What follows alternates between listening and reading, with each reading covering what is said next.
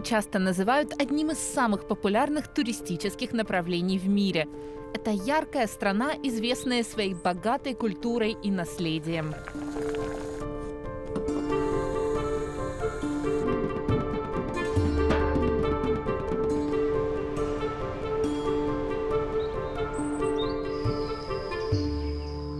Туризм занимает важное место в экономике Индии, и его значение растет.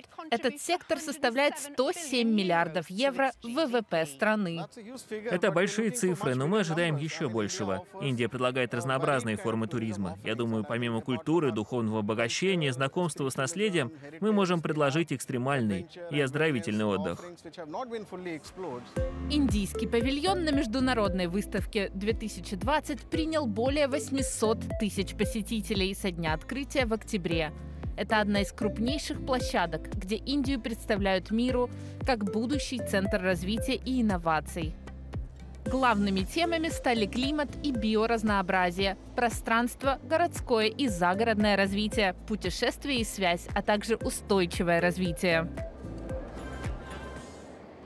Что такое устойчивое развитие? Один из главных уроков пандемии — это то, что туризму надо изменить свои приоритеты. Он должен стать ответственным. Вот на чем фокусируется Индия в разработке новой политики в сфере туризма. Это в том числе развитие экологичного и ответственного туризма. Со смягчением ограничений при сохранении санитарных мер есть надежда, что Индия будет одним из желанных направлений для путешественников в 2022